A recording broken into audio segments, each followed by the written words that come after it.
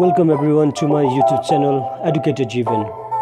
And in today's video, we'll be talking about how to join in your Zoom app in your Zoom classroom through your Android phone.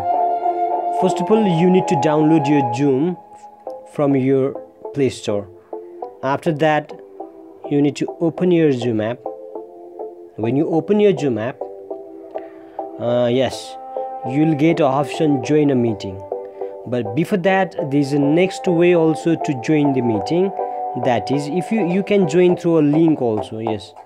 If the person who is hosting a meeting send you a link then yes when you click in the link if you just click in the link then directly you will go into that meeting id or your in your zoom class. Now yes you are supposed to write your name. I'm writing students yes and okay. Hmm. now it's you can see here. Yes now please wait the host. Okay now host will admit you. And it's connecting. This may take a few more moments. And finally you will be in that id yes. Now you are already there in the meeting id right?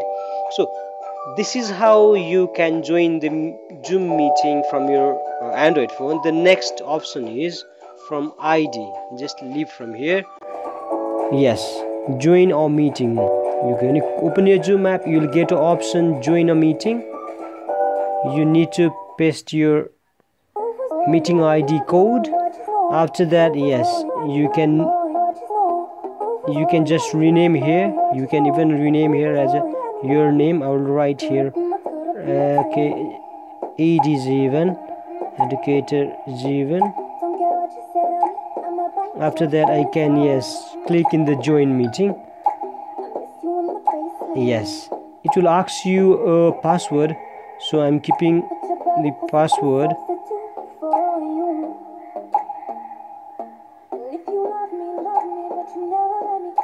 Now you can see that again yes.